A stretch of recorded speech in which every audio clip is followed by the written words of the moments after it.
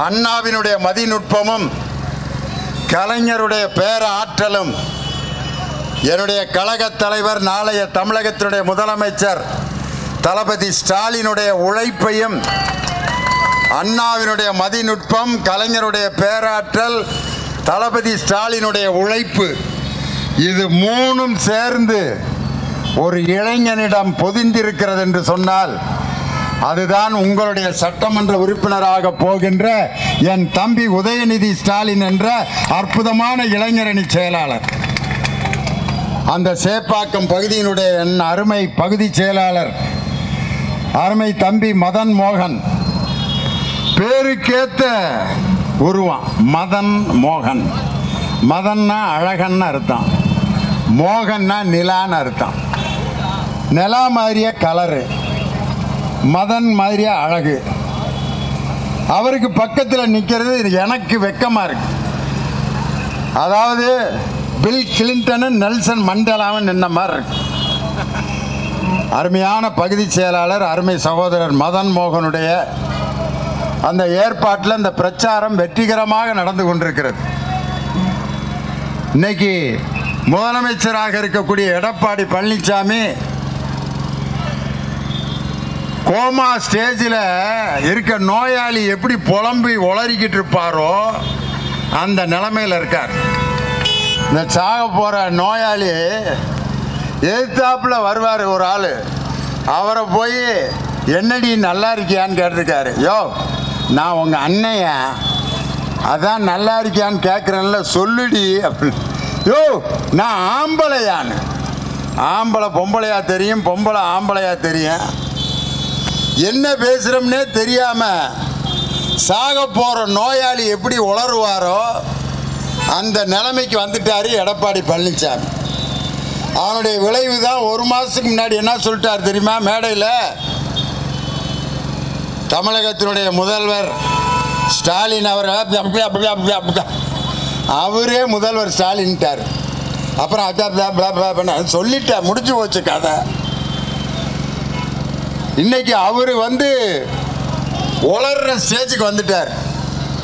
ஆனால் என் கழகத் தலைவர் தளபதி ஸ்டாலின் தன்னை எதிர்த்து கூட்டணி வைத்திருந்த மறுமலர்ச்சி திராவிட முன்னேற்ற கழகத்தினுடைய வைகோவை இந்திய கம்யூனிஸ்ட் கட்சியை மார்க்சிஸ்ட் கம்யூனிஸ்ட் கட்சியை விடுதலை சிறுத்தைகள் திருமாவளவனை ரெண்டாயிரத்தி பதினாறில் எதிர்த்து போட்டியிட்டு மக்கள் நல கூட்டணியில் இருந்த அவர்களை எல்லாம் தனது கூட்டணிக்குள்ள கொண்டு வந்து அந்த கூட்டணியை வெற்றி கூட்டணியாக மாற்றி இன்னைக்கு தனக்கு பின்னாடி ஒரு பெரிய பெட்டாலியனை என் தலைவர் பின்னால் இருக்கு. ஆனால் எடப்பாடி பழனிசாமி இன்னைக்கு ஆயுதத்தை பூரா இழந்துட்டார். அவரோட கூட்டணி முக்கிய கூட்டணி யாருன்னா பாமக. பாமக. நான் இந்த கட்சி பேரை ஏன் அப்படி சொல்கிறேன்னா அந்த கட்சி தலைவர் நிறுவன தலைவர் ஐயா மருத்துவர் ராமதாஸ். அவருடைய மகன் அன்புமணி ராமதாஸ். அவர் ஒரு ரெண்டு வருஷத்துக்கு முன்னாடி சொன்ன ஸ்டேட்மெண்ட்டு யாரை? எடப்பாடி பழனிசாமியை பற்றி எடப்பாடி பழனிசாமிக்கு என்ன தெரியும்? அவருக்கு ஒன்றும் தெரியாது. அவருக்கு தெரிஞ்சது ஒன்றே ஒன்று தான் காலில் விழுவார் டயரை நக்குவார்.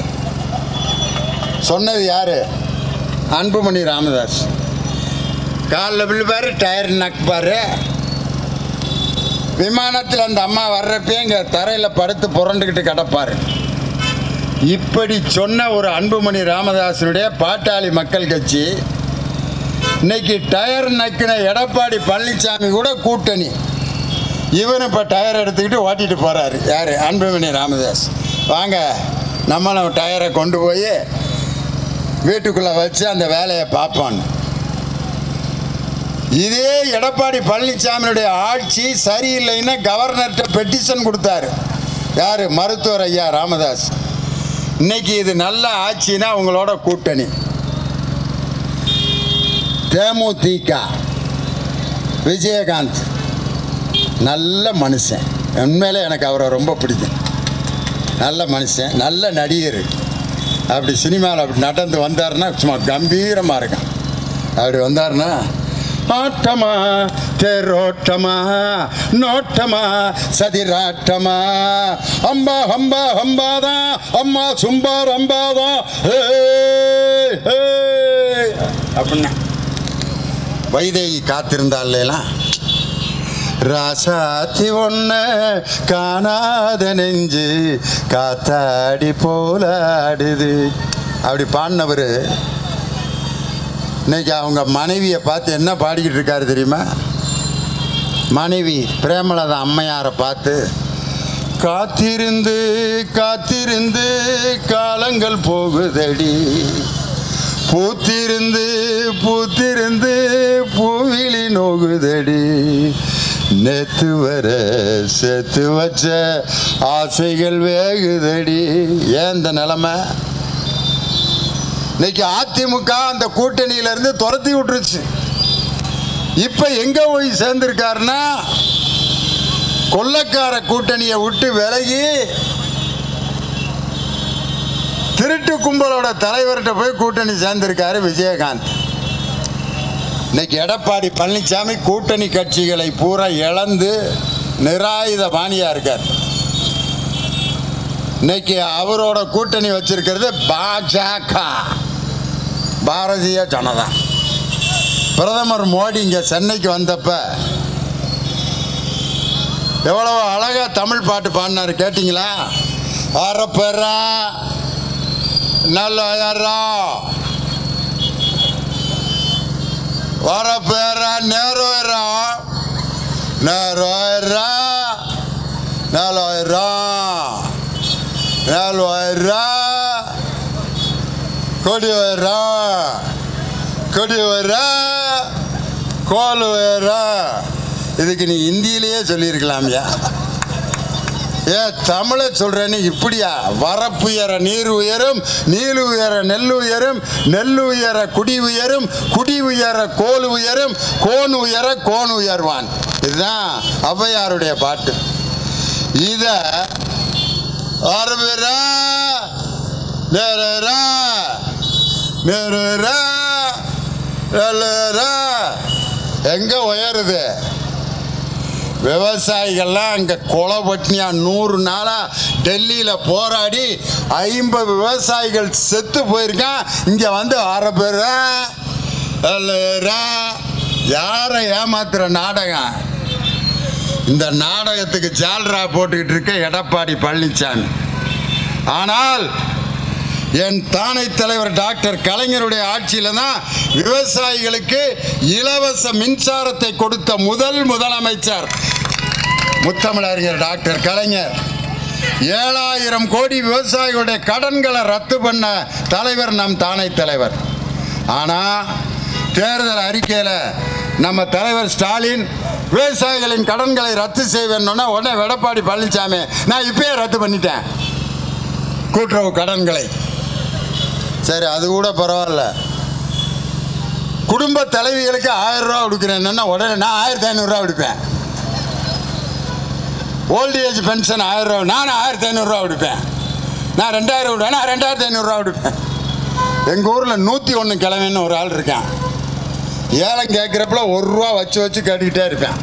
ஆயிரம் ரூபா ஆயிரத்தி ஒன்று ரெண்டாயிரம் ரெண்டாயிரத்தி ஒன்று கடைசி வரைக்கும் ஒரு பொருளையும் வாங்க மாட்டேன். வீட்டுக்கு சும்மா தான் போவேன் கமிஷனை வாங்கிட்டு.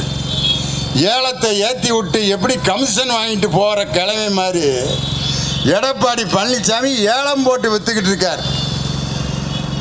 எங்கள் வாத்தியாருங்க சொல்லுவான் பையங்களை சொல்லுவான் ஈ அடித்தான் காப்பி ஏன்டா அடிக்கிறேன்ட்டு? உங்களுக்கு அதுக்கு அர்த்தம் தெரியுமா? ஈ அடித்தான் காப்பினா என்னன்னு? ஈ அடித்தான் காப்பி. கணக்கு வாத்தியார் கணக்கு போட்டு இதை நான் வீட்டு பாடம் கொடுத்து எழுதிட்டு வாங்கடான்ட்டார். அந்த பையன் எடப்பாடி பழனிசாமி மாதிரி. ஒரு இளவும் தெரியாதவன். பக்கத்தில் இருக்க நோட்டை வாங்கி அம்புட்டு கணக்கை எழுதி முடிச்சிட்டான்.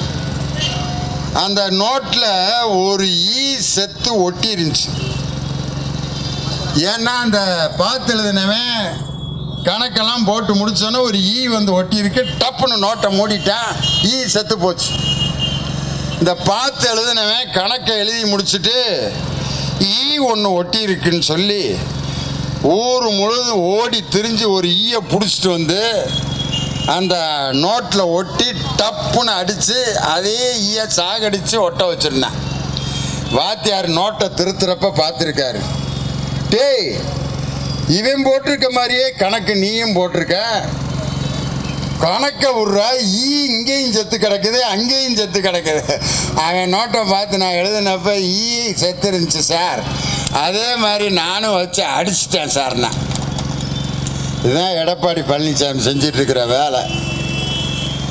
என் தலைவர் எதை எதெல்லாம் அறிவிக்கிறாரோ அதை பூரா சேர்த்து அறிவிச்சிட்டு இன்னைக்கு நாட்டை விட்டு ஓடப்போகிற ஒரு முதலமைச்சர். நாளை தமிழகத்தினுடைய முதலமைச்சராக பொறுப்பேற்க போகிறவர் என் கழகத் தலைவர் தளபதி ஸ்டாலின். வேற யாரும் சொல்லலை. ஹிந்து பத்திரிகையினுடைய தலைமை ஆசிரியர் ராம் அவர்கள் ஐம்பது ஆண்டுகள் பத்திரிகை துறையில் அனுபவம் உள்ள தலைவர். அவர் தன் ட்விட்டர் பக்கத்தில் எழுதியிருக்காரு. DMK sweeps out of two thirty four out of two thirty four இரநூத்தி முப்பத்தி நாலு தொகுதியில் இரநூத்தி முப்பத்தி நாலு தொகுதியிலும் வெற்றி பெறும் வாய்ப்பு திமுகவுக்கு இருக்கிறது அப்படின்னு நாங்கள் சொல்லலை. அரசியல் கட்சியே இல்லாத ஹிந்து பத்திரிகையினுடைய ராம் என்ற பத்திரிகை ஆசிரியர் கணிச்சிருக்கார். அந்த அளவுக்கு மக்கள் இன்னைக்கு வெறுப்போடும் கோபத்தோடும் இருக்காங்க. இந்திய குடியுரிமை சட்டம் அந்த குடியுரிமை திருத்த சட்டத்தை பாராளுமன்றத்துக்கு கொண்டு வர்றப்ப அதை எதிர்த்து வாக்களித்து இஸ்லாமியர்களுக்கு துரோகம் செய்த எடப்பாடி பழனிசாமி இன்னைக்கு தேர்தல் அறிக்கையில் குடியுரிமை சட்டத்தை எதிர்ப்போம்னு வெக்கங்கட்டதனமாக தேர்தல் அறிக்கையை கொடுத்திருக்கிறார். ஆனால் இஸ்லாமியர்களை அவர்கள் இந்தியர்கள் இந்த நாட்டினுடைய குடிமக்கள் என்று ஏற்றுக்கொண்டு இந்து இஸ்லாமியர்கள் கிறிஸ்தவர்கள் அனைவரையும் தமிழர்களாக ஏற்றுக்கொண்ட ஒரு இயக்கம் திராவிட முன்னேற்ற கழகம்ங்கிற இயக்கம். அதனால் இஸ்லாமியர்களுக்கு கிறிஸ்தவர்களுக்கு பெண்களுக்கு ஒடுக்கப்பட்டவர்களுக்கு தாழ்த்தப்பட்டவர்களுக்கு ஜாதியால் பின்தங்கியவர்களுக்கெல்லாம் துரோகம் செய்த எடப்பாடி பழனிசாமி என் பிஜேபி கூட்டணியை இந்த நாட்டை விட்டு துரத்தி என் கழகத் தலைவர் தளபதி ஸ்டாலினை முதல்வராக்க என் அருமை தம்பி உதயநிதி ஸ்டாலின் அதிக வாக்கு வித்தியாசத்திலே வெற்றி பெறப் போகிறார். மே மூணாம் தேதி அன்னைக்கு ரேடியோவிலும் டிவியிலும் எலெக்ஷன் ரிசல்ட் அறிவிப்பாங்க. அப்போ அறிவிப்பார் ஒருத்தர். ஆல் இண்டியா ரேடியோ மாநில செய்திகள் வாசிப்பது செல்வராஜ். நடந்து முடிந்த சட்டமன்ற தேர்தலில் சேப்பாக்கம் திருவல்லிக்கேணி தொகுதியில் தன்னை எதிர்த்து போட்டியிட்ட பாட்டாளி மக்கள் கட்சியினுடைய வேட்பாளரை ஒன்றரை லட்சம் வாக்கு வித்தியாசத்திலே வெற்றி பெற்று உதயநிதி ஸ்டாலின் சட்டமன்ற உறுப்பினர் ஆனார் அப்படிங்கிற செய்தி மே மூணாம் தேதி டிவியில் வரும் பொழுது திண்டுக்கல் லியோனியை நீங்கள் நினைத்து பார்ப்பீர்கள் என்று சொல்லி வெற்றி சூரியனாம் உதய சூரியனுக்கு வாக்களித்து நாளை கழகத் தலைவர் தளபதி ஸ்டாலினை முதல்வர் ஆக்குவோம் முதல்வர் ஆக்குவோம் என்று உறுதியேற்போம். நன்றி வணக்கம்.